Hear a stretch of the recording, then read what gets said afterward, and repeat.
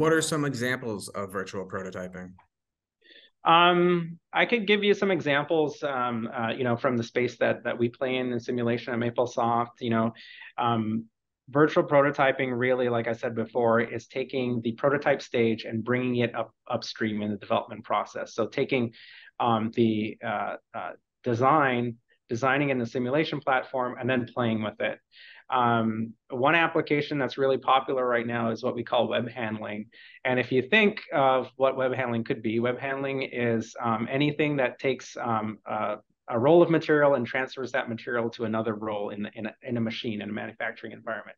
Um, things like paper, like diapers, and even um, battery cells where anode and cathode materials have to be uh, brought together.